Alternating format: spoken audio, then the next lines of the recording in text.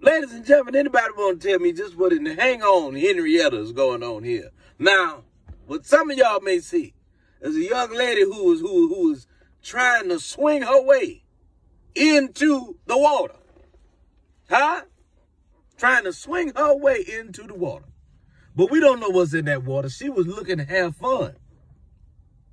Yeah, but but but but but some of y'all may say that this is a, a slight tragedy because she was trying to swing her way into the water and slipped and fell into the boat. But let me let me bring it home for you.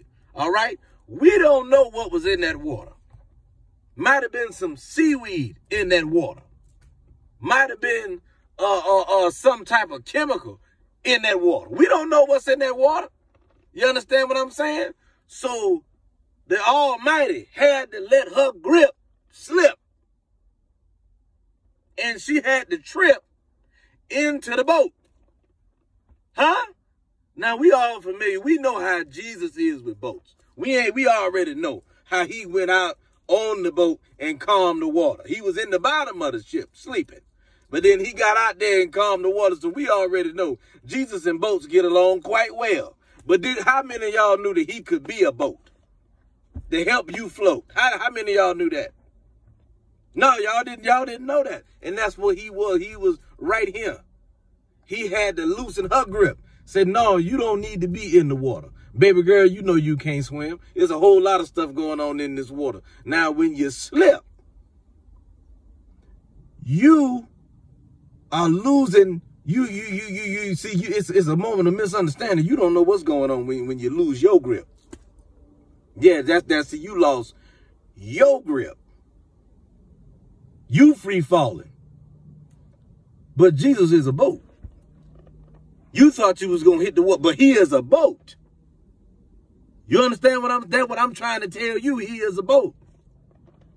You landed in the boat. You could have landed anywhere but you landed in the boat.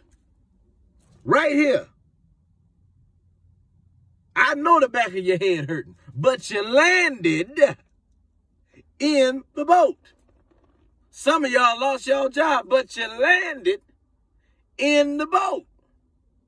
Some of y'all had some court cases coming up, but you landed in the boat. Huh? Been in a car accident, but you landed in the boat. Didn't know how you were going to pay your rent, but you landed uh, in the boat. Yeah, you got some bumps and bruises. That's all right. Yeah, your grip slipped. That's all right. But you landed. Turn to somebody and say, but I landed in the boat. That's all I'm trying to tell you. Some of y'all may laugh, but when you don't see what I see, I, you may see somebody who lost their grip, but I see somebody who landed in the boat. Go on about your business.